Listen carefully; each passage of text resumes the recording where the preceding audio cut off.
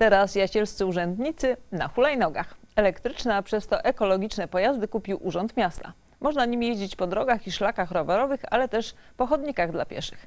W godzinach szczytu, gdy zakorkowane są ulice, to wyjątkowa wygoda i oszczędność czasu, co oznacza, że urzędnicy na hulajnogach docierają dosłownie wszędzie i na czas. Jazda elektryczną hulajnogą jest dziecinnie prosta, tak jak obsługa techniczna. Akumulatory pojazdów są ładowane podobnie jak telefony komórkowe.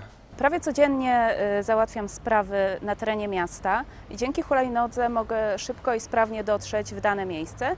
Dzisiaj byłam w gazociągach, to jest kilka kilometrów oddalone od Urzędu Miasta. Y, No i dzięki y, hulajnodze mogłam tam szybko i sprawnie dotrzeć.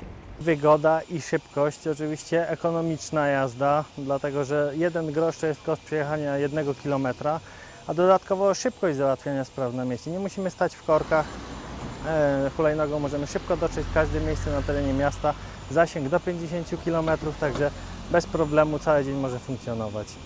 Hulajnogi elektryczne produkuje miejscowy przedsiębiorca. Dotąd znane były bardziej za granicą, w Niemczech czy Holandii, niż w kraju. Jasielski magistrat kupując jednoślady wspiera rodzimy biznes, a przy tym promuje miasto, coraz bardziej znane z winnic.